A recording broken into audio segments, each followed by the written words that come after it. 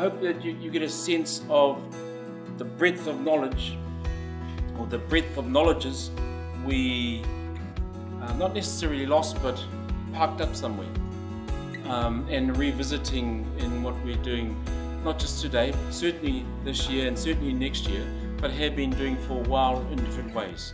There are opportunities which allow us to highlight these sorts of things and interesting enough, I always maintain that artists are those who give us those opportunities.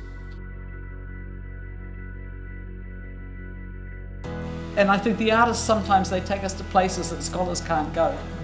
You know, they have this kind of visionary, lateral way of looking at the world, and they see they see things that you know other people don't see.